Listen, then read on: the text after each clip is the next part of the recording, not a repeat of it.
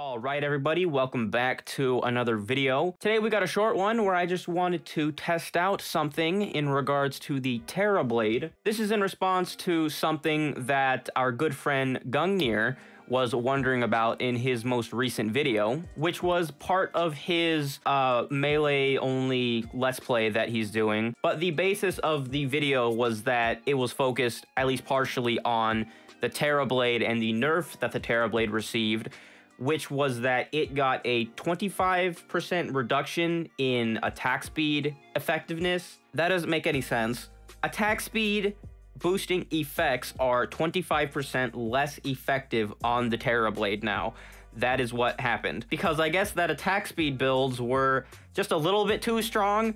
I didn't actually do any of my own testing on this beforehand because I didn't get around to it but I had heard rumors, even within my own comments on the one video featuring the Terra Blade that I did make, that said, hey, you know, you could do a lot more damage, or, you know, some more damage if you build full attack speed. And apparently this was so effective that it got nerfed because Re-Logic is like, hey, we gotta stop that. That's too powerful. So the question posed, which I took as a request. I'm very curious um, as to what is more effective now like menacing over over violent and like melee speed. I don't know. I'm not sure what would be better. I, I never checked menacing versus violent before, so I don't know what that gap was like before and, and which one is better even. I didn't really try. This is in regards to modifiers that you put on your accessories in general, being violent, which gives you more attack speed, versus menacing, which gives you more straight damage. And the question is, which does more flat damage? And so I figured I would make a little video on this because uh, I have the means. These are definitely not ill-gotten gains, and these uh, three item sets that you can see in my inventory, as well as these extra ones just chilling up here, are also definitely not um, ill-gotten gains I don't have a world with all the items in it that I get all of this from. But basically, I have three duplicate item sets. One that is modified all with the violent uh, modifier, which gives you extra attack speed, which is what was supposed to be nerfed one with menacing, which gives you flat damage, and then one, which I just figured I would test out, that is modified with lucky, which gives you extra crit chance, because I was like, I don't know, this is going to be a short video anyways, why not test out another set of items with a different modifier that could potentially be effective. I also have these glove items, which all give you extra attack speed, which I'm going to be inter interchanging with the violent set to see if this actually has more damage than it does or any of the other sets. We got some buffs here that I'm going to be testing out, which is Rage Potions, Wrath Potions, Ale, which gives you extra melee capabilities, and Apple Pie, which gives you the Exquisitely Stuffed buff, which also gives you extra melee capabilities, as well as just general uh, stat buffs. This seemed like a fun little thing to do to give me a bit of a break from the longer scripted videos that I've been doing, or not really give me a break, but let me get ahead a little, a little bit since I have one in the works on a different topic. And I was like, hey, this might be fun. So we have a lone dummy here, which should be all that we need. I'm actually going to wait until nighttime comes around because we do have the Celestial Shell in our inventory and just to get the maximum damage possible because as you can see, this is like a super min-maxed uh, sort of end game setup that I have just, just to test what I think is probably about the maximum amount of damage you can possibly get in the game in a melee setup here. And we get an extra 5.1% damage and melee speed at night when we turn into werewolf form with the Celestial Shell. So, you know, I'll just cut the video and be right back. All right, we have entered nighttime and I am now werewolf. We should have everything that we need for testing here. We're gonna test out the violent set first. Uh, and we're just going to take a look at all of these different setups and see if there's any large discrepancies in damage, just to see if there's any that are clearly more effective than the others with the new changes, which I think the general consensus was that the attack speed builds were the most effective beforehand, and now they're, you know, not supposed to be. That was the point of the change. Starting with just the violent set, uh, let's just stand back a little bit and take a look at this. Um, so yeah, this is gonna be that. I don't know why it just boosted up to 3,200 damage for a second there, but you know, it looks like we're getting in the range generally of 27 to 3,000 damage, kinda.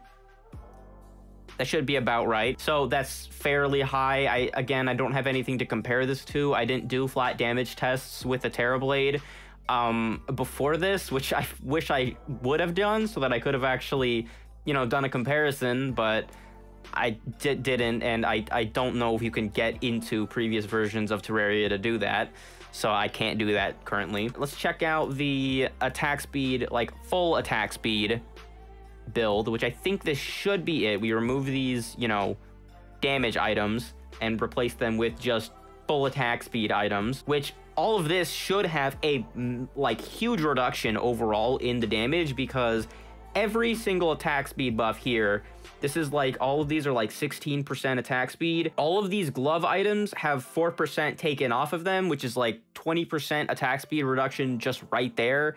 And then obviously the overall attack speed buffs, which I'm pretty sure it, it applies to everything. So the attack speed buffs from the Celestial Shell and from our buffs are also going to be reduced. I got to put this ale back on. But um, this still looks crazy that started off at really high damage. I mean, it seems around the same, right? It's getting a little bit lower than it looks like the straight up violent set was.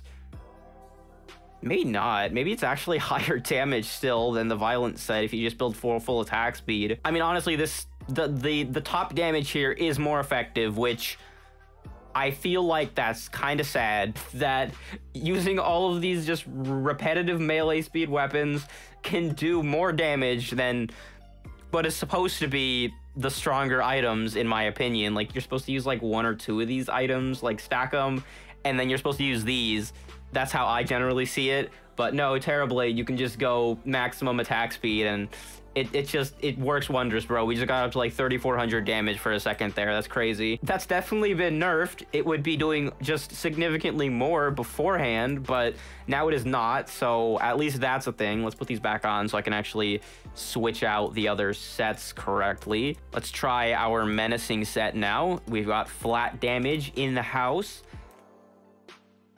that's less damage that is less damage than the full attack speed I don't know why it's so low.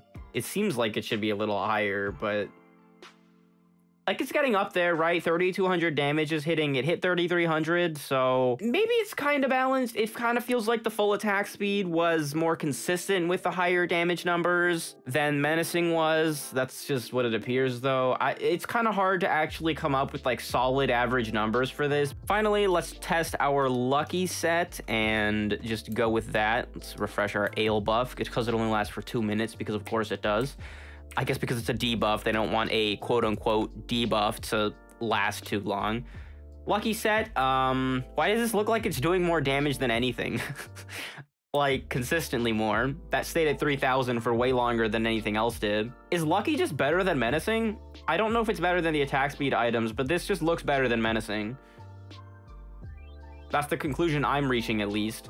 I would generally say that you don't want to go crit on um, melee builds because it's not as effective as like on ranged builds and the melee items are more built for attack speed regardless but like this is actually doing a lot and it's not going down to like the lows that I think we saw with menacing and violent where it goes down to like 2400 it's just not going down there. I did this kind of as just like a joke add-on but this actually seems significant. Like it it's actually working well. That's kind of weird. I I think that I can say that menacing seems to be the least effective. Um lucky might be the best one out of them. The damage that I saw with lucky seemed to be very consistent. But from that first run around, it seems like uh, the ranking to me anyways is lucky, full attack speed, full, um, like I guess hybrid where you go with the damage items, but built all of them with violent. And then menacing seems to be at the bottom, which is kind of sad. Sad for menacing as far as the Terra Blade goes. That's what I've reached. If that's not what you saw, let me know. You know, I'm just human. I might have seen something wrong, you know, brain fuzzy and stupid. and stuff, you know? I mean, that's kind of cool. Honestly, I hadn't tested the full melee speed capabilities of the Terra Blade either, and just seeing it swing that fast is kind of fun. I really like that, but I think that's going to be all for this video. I did what I came to do. Hopefully you enjoyed and, uh, you know, got something useful out of this, and I shall see you in the next one.